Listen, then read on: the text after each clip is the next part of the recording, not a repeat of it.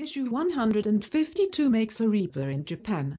Developed on the basis of the IS tank. The ISU 152 was conceived as a replacement for the Su-152, which was based on the KV-1 chassis. A total of 4,635 vehicles were built from November 1943 through June 1945. Crew, one commander, one gunner, one driver and two loaders. Engine, V254IS, 700 HP. Max speed, 43 km per hour. Radio signal range 625 meter. Gun, 152 mm BL-10, 3.41 rounds per minute.